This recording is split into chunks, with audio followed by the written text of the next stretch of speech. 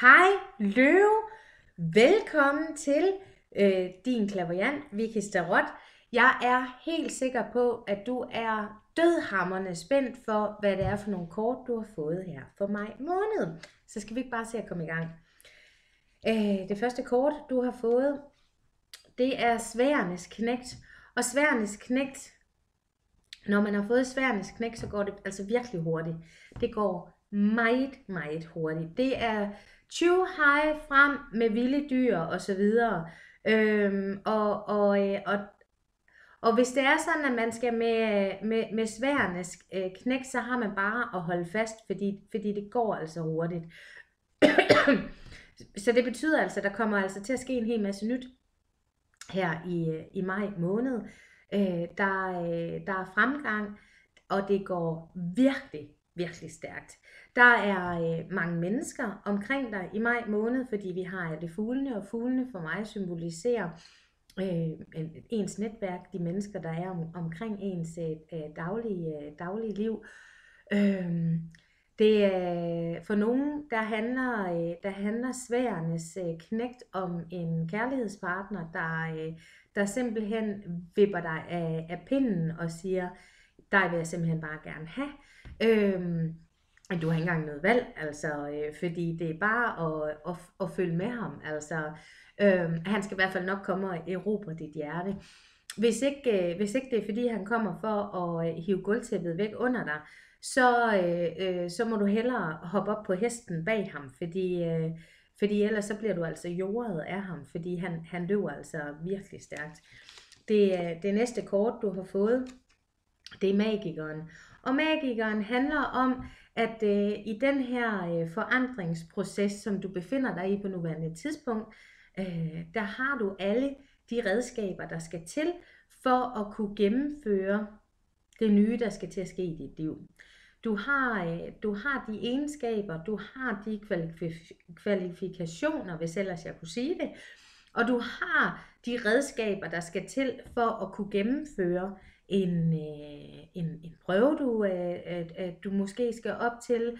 Øh, det kan være et, øh, et arbejdsprojekt, det kan være et kærlighedsprojekt, det kan, det kan bare være i forhold til noget livsstilsændring, øh, tankemønstre, der skal, der skal brydes med magikeren, fortæller dig, at du kan godt øh, stole, du kan godt stole på de egenskaber, du har, og du har alle de remedier til rådighed øh, øh, øh, inden for, for din, øh, din atmosfære. Altså, øh, der er i øvrigt tegn på, på stor selvudvikling, fordi vi har blomsterne i baggrunden, de, de, de røde øh, roser, og, øh, og blomster for mig handler, handler om det her med, særligt når de er, de er sprunget ud, om den her selvudvikling, som vi mennesker vi, øh, vi gennemgår.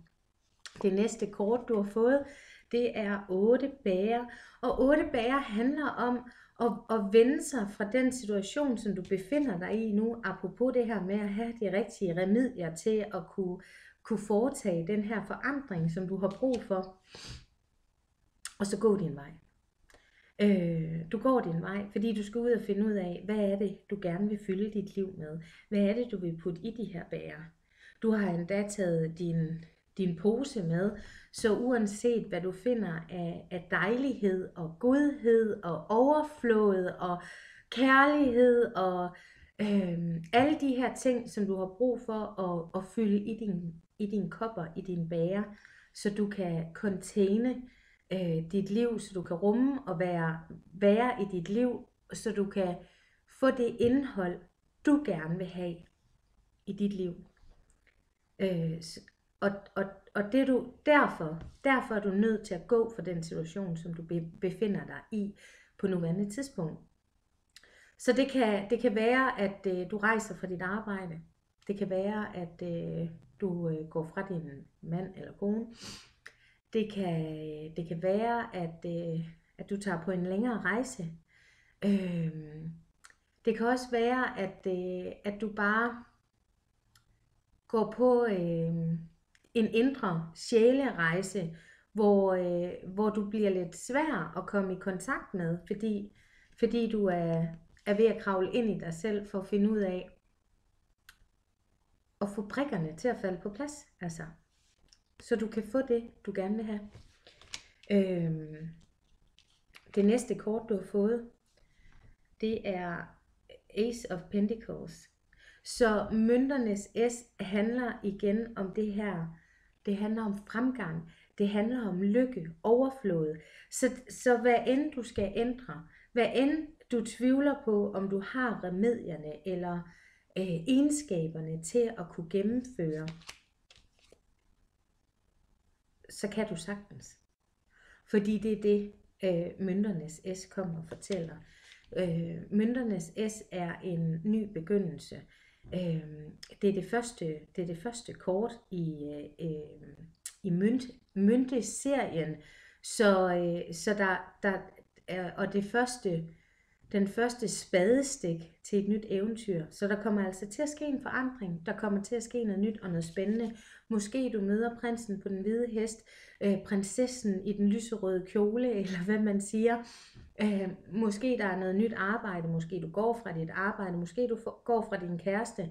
Måske du går fra din kæreste, øh, for, fordi du har fordi du har fundet en, en ny øh, det er, der, der er mange muligheder, fordi mange forskellige mennesker. Hvis den her læsning ikke resonerer på dig, så gå ind og tjek din øh, uh, måntegn eller din uh, ascendant. Det kan være, at det passer bedre på dig i den her måned. Det er uh, det næste kort. Øh, det næste kort, jeg har trukket til dig, det er øh, holiness. Holiness. Og det handler, det handler om at føle sig hel. Så, så for så for at du kan føle dig hel, så, så er du altså nødt til at ud og finde ud af, hvad er det, dit liv skal... Øh, hvad skal der være i dit liv? Hvad skal du putte i de her bærer?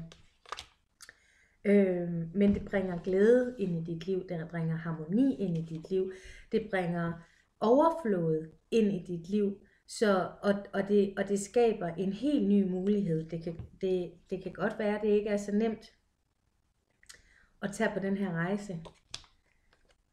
Men med den belønning, der er, med, med, den, med det glæde, der øh, det, det medfører, øh, så kan det ikke være en helt, en helt tosset idé.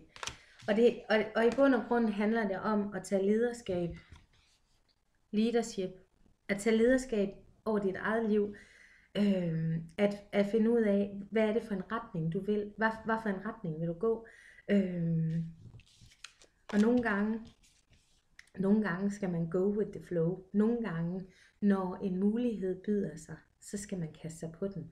Øhm, så kan der være mange etiske overvejelser, hvor man kan vælge fra eller til. Men, øh, men nogle gange, der skal man ikke tænke så meget. Der skal man altså bare handle. Mm-hmm.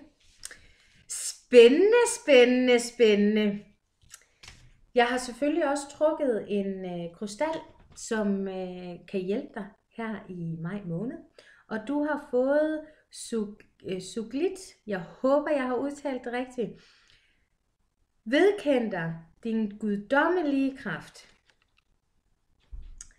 Skift din afhængighed Skift din afhængighed af med at behage andre og ud med sikkerhed og styrke.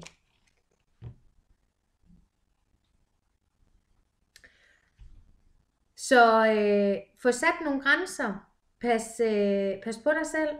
Få fundet din indre styrke. Tag chancen, når den byder sig. For det bliver en fantastisk maj måned. Det var, hvad jeg havde til dig den her gang, kære løve. Jeg håber, at du får en helt igennem fantastisk maj måned. Jeg er rigtig glad for, at øh, du blev her på kanalen og så med. Jeg øh, glæder mig til at lave din læsning næste måned. Øh, smid endelig en kommentar. Det øh, varmer jo mit lille hjerte, hver eneste gang du sender mig en besked, også selvom jeg ikke lige får svaret på den. Øh, øh, kontakt mig, hvis det er sådan, at du vil have en privat læsning. Og ellers er der ikke så meget at sige, at vi ses i juni måned. Tusind tak, fordi du fulgte med. Vi ses. Hej hej.